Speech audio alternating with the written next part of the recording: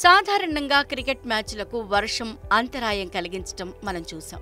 ఇటీవల గ్రౌండ్లోకి పాములు ఉడుములు కూడా ఎంట్రీ ఇచ్చి ప్లేయర్లను భయపెట్టాయి. తాజాగా ఓ ఎద్దు గ్రౌండ్లోకి ఎంట్రీ ఇచ్చి ఆటగాళ్ళను పరుగులు పెట్టించింది. దానికి సంబంధించిన వీడియో సోషల్ మీడియాలో తెగవ నవ్వులు పూయిస్తోంది. ఓ మారుమూల ప్రాంతంలో కొందరు కుర్రాళ్ళు గ్రౌండ్లో క్రికెట్ ఆడుకుంటున్నారు. ఆ గ్రౌండ్ రోడ్డు పక్కగా ఉంది. దూరంగా కూర్చుని కొందరు ఆటను చూస్తున్నారు. ఇంతలో రోడ్డుపై నుంచి రెండు ఎద్దులు వెళ్తున్నాయి.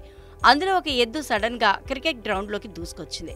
దానిని తరిమేందుకు ప్లేయర్స్ ప్రయత్నించారు. అయితే ఆ ఎద్దు నన్నే తరిమి కొడతారా అంటూ వారిపైకి దూసుకెళ్ళింది.